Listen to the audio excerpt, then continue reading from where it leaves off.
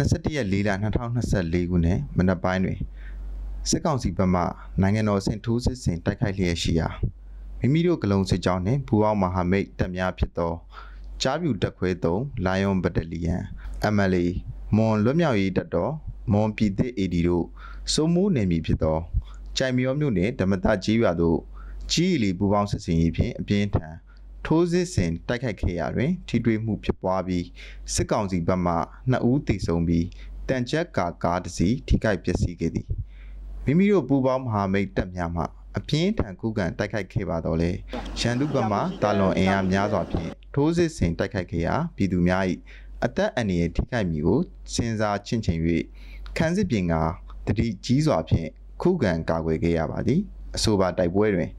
ပူပေါင်းမဟာမိတ်တပ်များဘက်မှရဲဘော်၄ဦးမစိုးရင်ရဒဏ်ရာရရှိခဲ့ပြီးမိမိတို့စစ်ကြောင်းမှရဲဘော်2ဦးမစိုးရင်ရဒဏ်ရာရရှိခဲ့ပါသည်